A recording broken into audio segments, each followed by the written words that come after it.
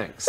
How about that? I think I'm going to stick with my leftovers. So for Saturday, we're kicking off the weekend at 64, getting down to 54 by Sunday. Look at that big warm up as we head into next week. 60s every single day. We get up to as high as 65 by Wednesday and also a nice dry streak, 0% through Sunday and into the next week. Our next newscast is tonight at 10 o'clock. Enjoy your evening. We'll look for you then.